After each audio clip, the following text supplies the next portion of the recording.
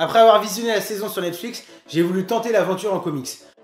Suite à un événement qui pourrait nous paraître sans conséquence, 43 enfants naissent spontanément de femmes n'étant pas enceintes. C'est euh, Reginald Elgreave, un inventeur multimillionnaire, adopte, élève et entraîne 7 de ses enfants au don miraculeux afin de les préparer à sauver le monde. Notre histoire commence une fois ces héros devenus adultes et ayant chacun fait leur vie de leur côté. Mais un événement tragique va les réunir à nouveau pour affronter la plus grande menace du monde, l'apocalypse.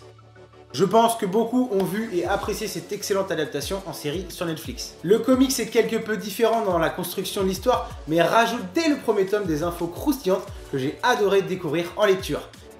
Umbrella Academy est édité chez Delcourt Comics, 164 pages pour 17,95€ et redisponible depuis le 27 février 2019. Lisez